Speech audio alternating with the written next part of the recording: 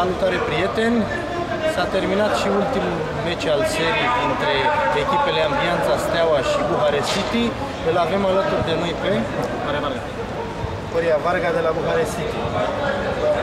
Ce s-a întâmplat în această seară? Ați început meciul puternic, ați dominat, ați avut avantaj, dar la final Din păcate, în momentul când am avut avantaj, în loc să ne vedem mai departe de joc, s-au principat băieții, m-am trezit cu toții în apărare, nu mai știa nimeni unde joacă, și-au pierdut posturile și cred că în 10 minute am fost egalați, nici nu, mai puțin de 10 minute, am fost egalați imediat.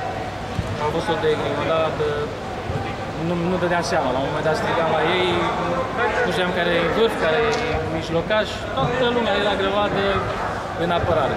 Și acolo s-a rupt ceva. După ce am reușit să ne, mai, să ne organizăm, deja cred că era prea târziu. S-au enervat vreo doi băieți inutili, zic eu, și gata, nu a mai fost concentrare, s-a pierdut meciul.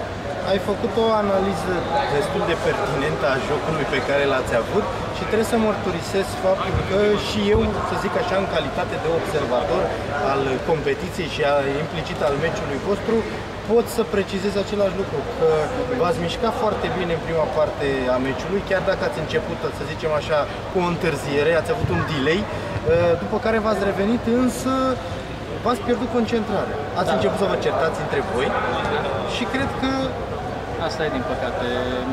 Se vede și o singură schimbare care am avut-o, au lipsit mulți băieți și a ajuns să se enerveze unul și gata, s-a dus meciul. Asta e, asta nu, nu înțeleg. Dacă arbitrii nu greșesc cu nimic ca să se enerveze, arbitrii se enervează între ei.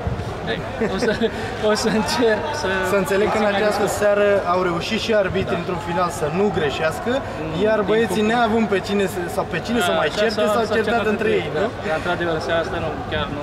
De fapt, nici marți. Marți, la un moment dat, am văzut două greșeli în defavoarea noastră, dar imediat am văzut o greșeală în, în favoarea noastră, deci a Deci fost... nu puteți să, să spuneți că cineva acționează tendențios, pentru că am mai avut alte discuții de genul ăsta cu celelalte echipe.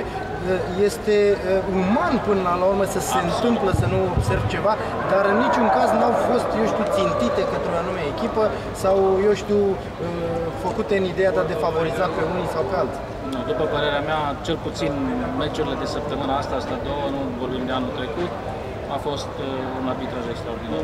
Asta am încercat și noi să facem, am tot schimbat uh, brigăzile de arbitri și zic eu că începem ușor ușor să ne stabilizăm la ceva băieți profesioniști care până la urmă în teren trebuie să ne arate că pot să țină meciul sub control și să până la urmă să tempereze echipe.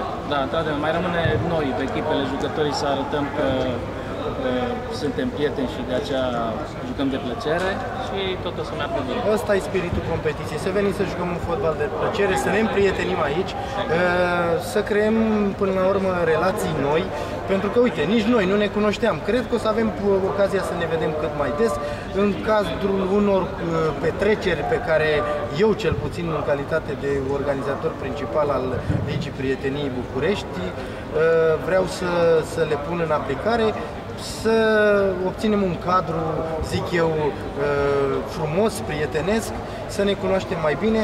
Îmi place că în această seară unii dintre jucătorii uh, voștri au venit și cu galerie, au venit și cu, uite, Da. cu Uh, colegul tău. Juniori, juniori. E, e fiul unui e, coleg al nostru. Mai vine din când în când cu noi să ne Câți susțină. ani are?